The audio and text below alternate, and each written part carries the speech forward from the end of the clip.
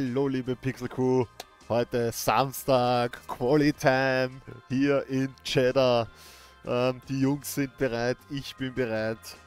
Wir haben 93% äh, Setup, Vertrauen und 94% bei Science. Das kann eigentlich nur noch nice werden. Verstappen und uns das letzte Mal die Pole weggenommen. Holen wir uns heute die erste Pole. Mal schauen. Ich bin gehypt. Da haben wir ja was vergessen. Steins hat eine Strafe bekommen und bekommt auf alle Fälle eine 3 Crit Strafe. Ähm, das heißt, er braucht die Pole. Dann steht er auf Platz 4. Ähm, auf alle Fälle werden wir mit ihm im Rennen was vorhaben. Somit werden wir darauf schauen, dass wir Charles hier mehr oder weniger bevorzugen. Der bleibt auch vorne stehen. Äh, wir werden jetzt jeden mal mit einer Runde rausschicken. So, wie viele Reifen haben wir jetzt? Wir haben, ja, ein Reifen schon geht zurück. Die wird freigeben. Ich glaube, wir kriegen dann noch eine im, im Training. Das heißt, also im Q3. Bin mir gar nicht sicher. Wir haben eigentlich nur, wir werden schauen, dass wir in ersten Rang und den zweiten Rang mit Einreifungsatz fahren und im letzten dann zwei haben. Let's go, liebe Pixel Crew. Radio check, Carlos. Ja, all gut. Heute wieder mehr Fahrgeschichten und wir werden gleich einmal ähm, Leclerc rausschicken, dass er ein bisschen ich finde das so eine geile Aufnahme bei Bahnhardt. Ähm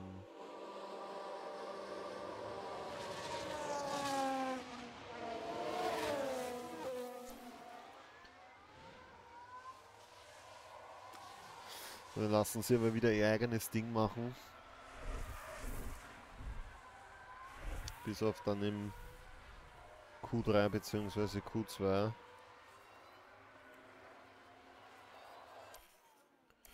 So, da spulen wir noch vor. So. Und Leclerc legt los.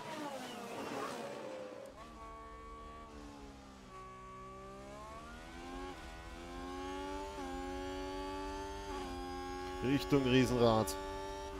Ja, mal eine Onboard-Runde kann man jedes Mal machen in Q1, dass ihr auch die Strecken mal seht. Man, viele werden es durch mein Ding F1 Game kennen, wo wir gefahren sind. Cheddar, da haben wir die Meisterschaft gewonnen mit MP Racing. So, Q. Schnellster erster Sektor logisch, weil er der erste auf der Rennstrecke war. Was macht Sainz? Vettel grün.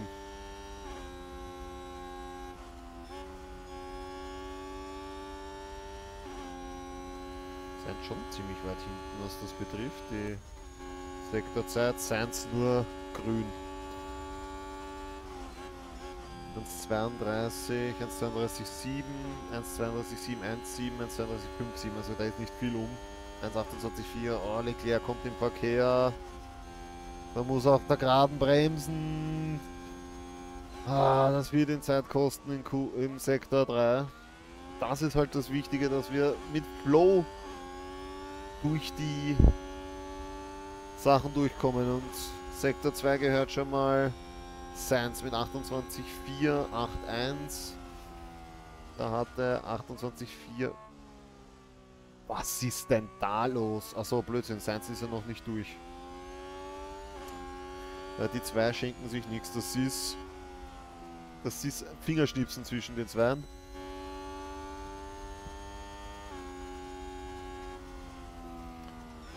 Sein schneller wie Leclerc. Gut, der hatte, ich will nicht sagen technische Probleme, aber ein Hindernis. So dann. Konkurrenz noch an der Box. Die Räder haben wohl blockiert. Und Verstappen. Eine sehr schnelle Runde. 400 schneller als ist Sainz und Leclerc. Die Räder haben wohl blockiert.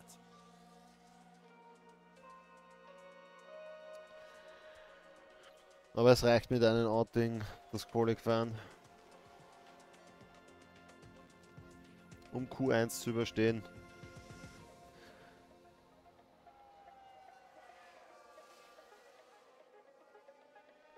Die Ferraris bleiben drin, die müssen Reifen sparen, weil ihr Team nicht sicher ist, ob sie noch einen Satz bekommen.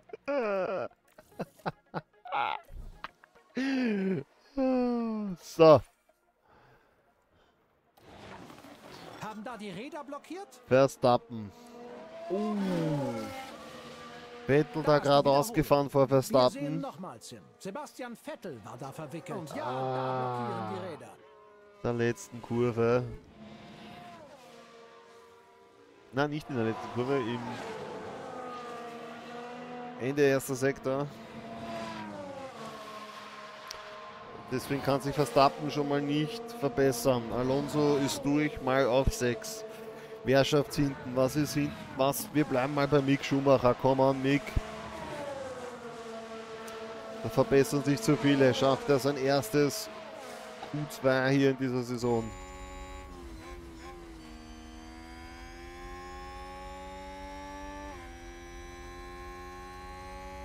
Ersten drei werden fix sein. Hm, Perez setzt sich da noch vor. So, jetzt muss Mick Gas geben.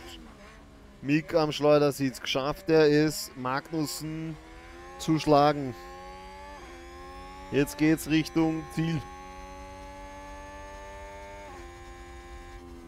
Mick verbessert sich und schießt Vettel hinaus und dann schießt Magnussen Mick hinaus. Mick draußen, dann Vettel, Stroll, Albon und Latifi. Die ersten fünf, die raus sind und das ist schon eine Ansage der Red Bulls. Ja, zumindest die eine Zeit.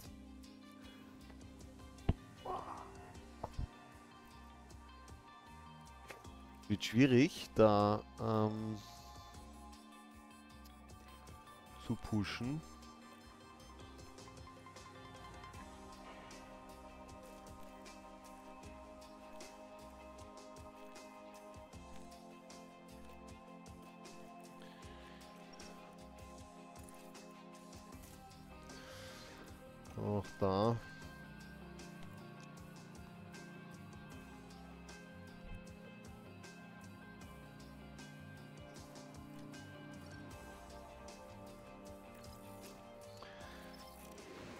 Trotzdem früher rausfahren. Ähm, ready attack, Charles. dann nämlich das. Problem ist, wenn wir zu spät fahren im Verkehr, dann sieht's, das reagiert schon sehr hart auf Verkehr. Also hier muss man eher eine freie Runde erwischen. Wir werden das Spiel so ein bisschen andersrum spielen. Wir lassen jetzt einmal alle rausfahren. Weil es sind eh weniger. Und wollen dann da in dieses Fenster hinein, wo die ganzen Autos reinkommen.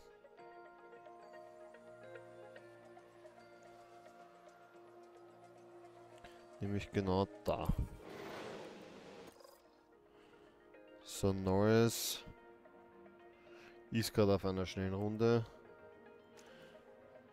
Wir schicken äh, Leclerc raus. Und jetzt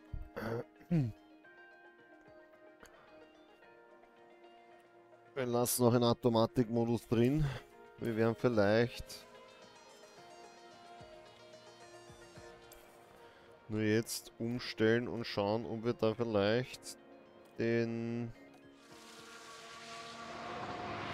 1.29.1 von Verstappen. Was sagt der Modus hier? Okay, das ist hier Vollattacke.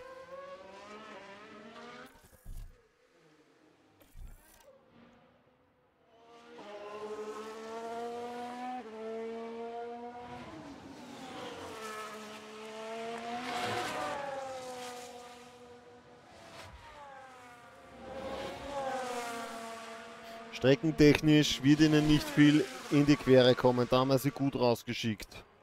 Zwar nicht vielleicht mit der besten Position, aber Leclerc mal schnellster erster Sektor. Das ist schon mal ein Zeichen für die Scuderia, das gut ist. Seins nur mit grünen zweiten Sektor.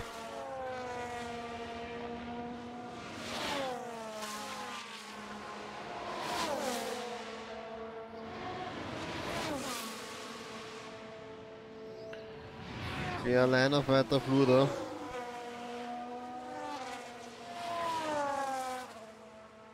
Kurvige Teil, jetzt kommt vor allem Norris. Zweiter schnellster Sektor. Wir müssen das auf alle Fälle sehr gut timen und Norris steht im Weg. Und wie im Weg steht.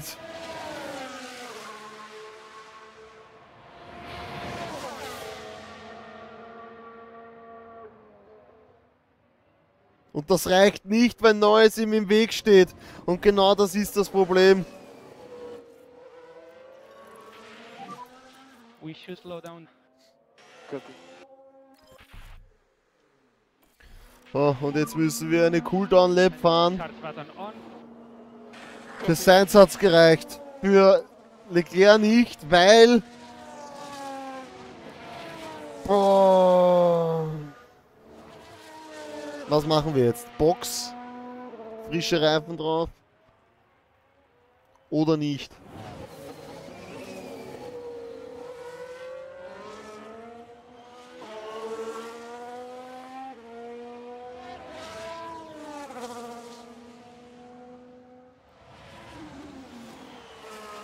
Er kommt halt jetzt genau in das Fenster rein, wo viel Verkehr sein wird.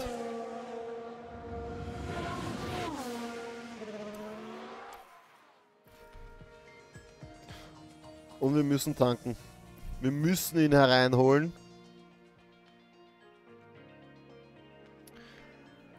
Chaos bei der Scuderia. Wir geben ihm auf alle Fälle frische Reifen. So, jetzt müssen wir es ruhig spielen.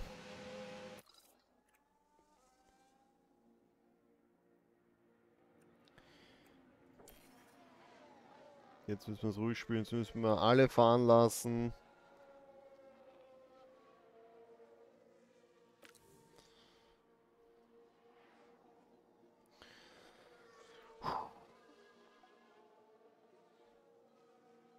Geht sich das aus für...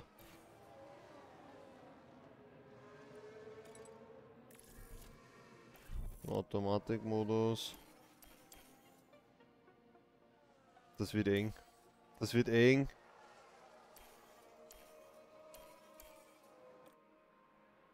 Und für Charles ist er sich ausgegangen. Er kann eine Runde lang volle Kanne pushen. Er ist der allerletzte auf der Rennstrecke. Vor ihm ist jetzt wirklich weit und breit niemand, weil die fahren alle eine schnelle Runde.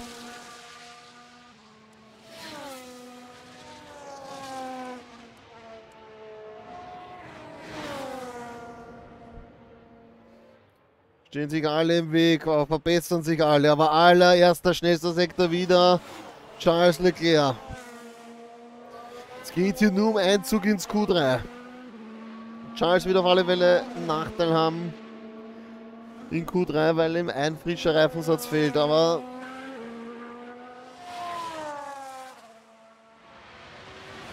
dem ist halt so. Verstappen verbessert nochmal seine Rundenzeit auf eine 1,29,1.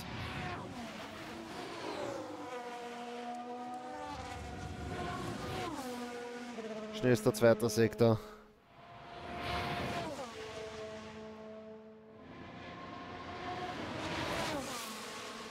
Kann das den Monegassen aus dem Gleichgewicht bringen oder bleibt er die Ruhe himself und holt sich den Einzug ins Q3? Ja, und das mit der schnellsten Zeit. Bravo, Charles. Der Kommando stand da schon ein bisschen geschwitzt bei der Scuderia. Und dann nochmal eine Hundertstel.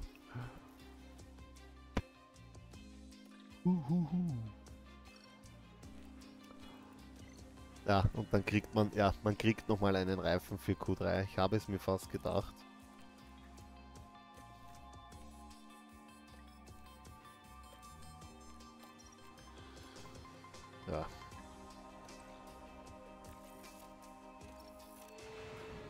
Müssen wir es taktisch gut ansetzen.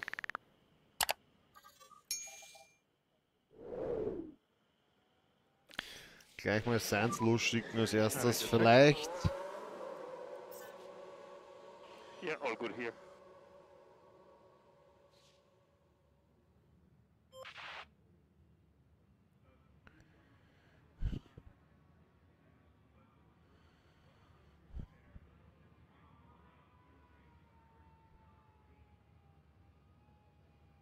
Alle warten noch.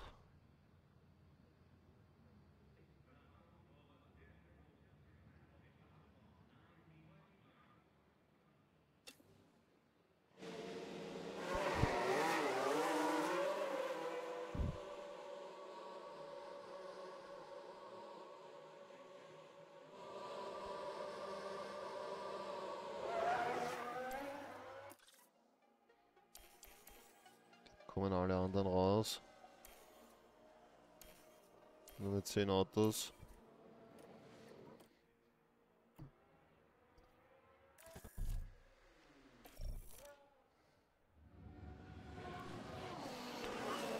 Und wir gehen mit Science.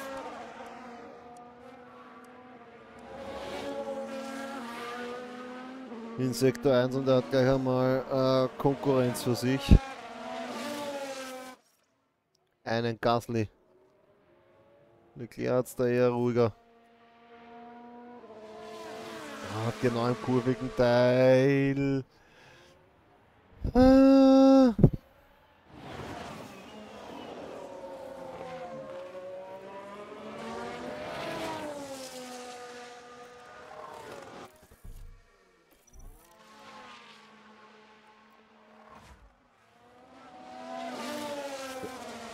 Leclerc aus der ersten Kurve raus.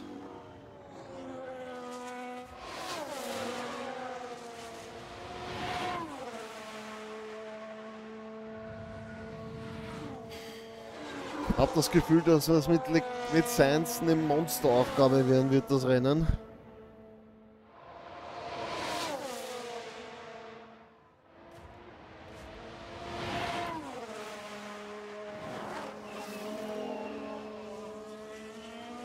Leclerc auf alle Fälle schnellster erster Sektor. Sainz, logisch, weil er ist der erste auf der Strecke, fährt eine 1,29,2 ist jetzt nicht so schlecht. Aber Leclerc kommt. Und Verstappen kann die Zeit von Leclerc mal nicht mitgeben in Sektor 1.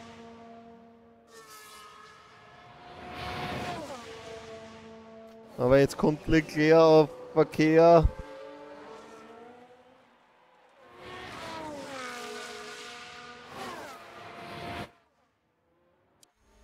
Es ist schon die Start und Ziel. Letztes Sektor war sein seiner. Aber Leclerc führt mal mit einer Hundertstel. Was macht Verstappen?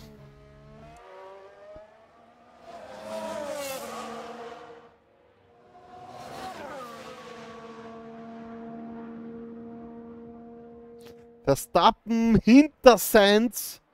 Nur auf P3. Perez, der war schon vorher stark genug. Oh, Verstappen, ganz schlechte Runde.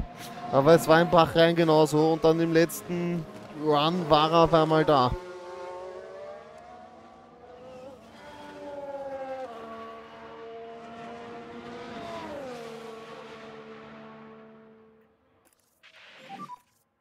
Yeah, in the pit. Copy that.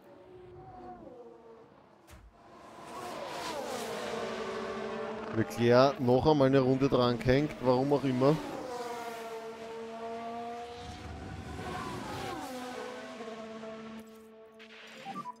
Ein Charge button on. Copy. Was ist da los? Und Leclerc noch einmal schneller. Copy. Gibt jetzt in die letzte Kurve.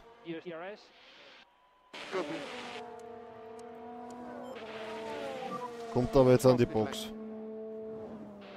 Oh, war noch ein Andeuter. Boah, Verstappen macht uns Perez, 300. Hamilton noch gar nicht, der fährt jetzt seine Runde.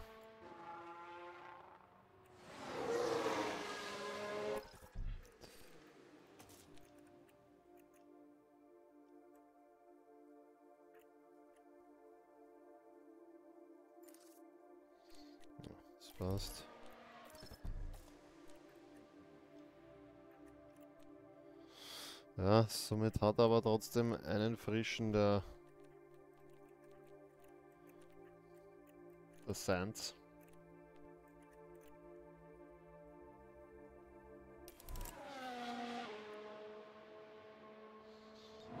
Na, und Hamilton trifft auf Verstappen.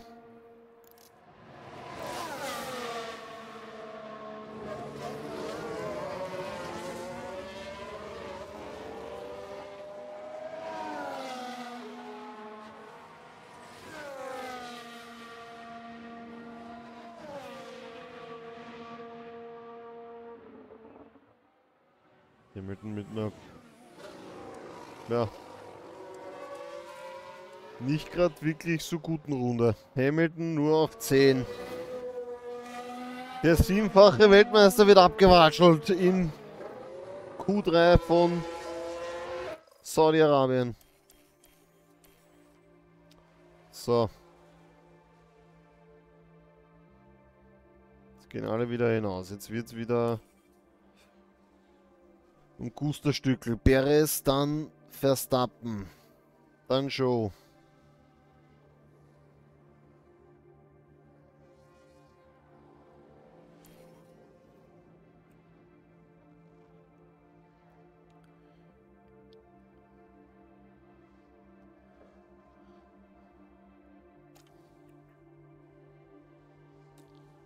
Puh, das wird eng. Das wird eng für Charles Leclerc. Das wird sich nicht ausgehen. Das wird sich für beide Ferraris nicht ausgehen, oder doch?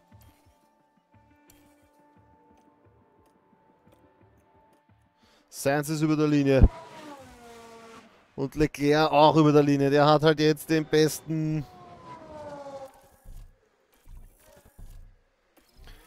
Besten Fokus. So, wir konzentrieren sich auf Perez. Der ist, glaube ich, ganz vorne auf der Rennstrecke. Ja.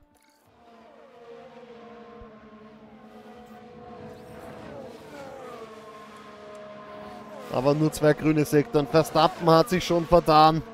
Eigentlich kann, wenn Perez das jetzt nicht durchbringt und Verstappen, kann Leclerc eigentlich schon rausnehmen. Sainz mit einem schlechten ersten Sektor. Aber auch Leclerc mit einem schlechten ersten Sektor.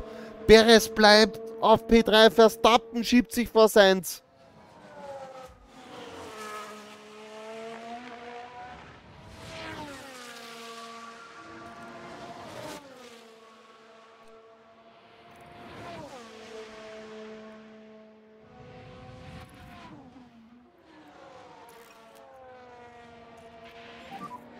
No DRS.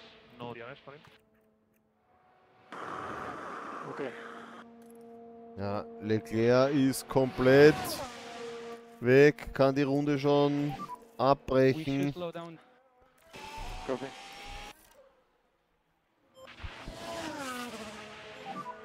And charge button on. Charge button on. Copy.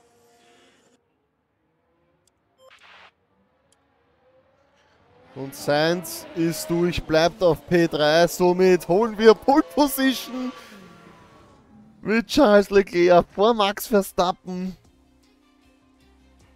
Ja, Charles Weltklasse gefahren.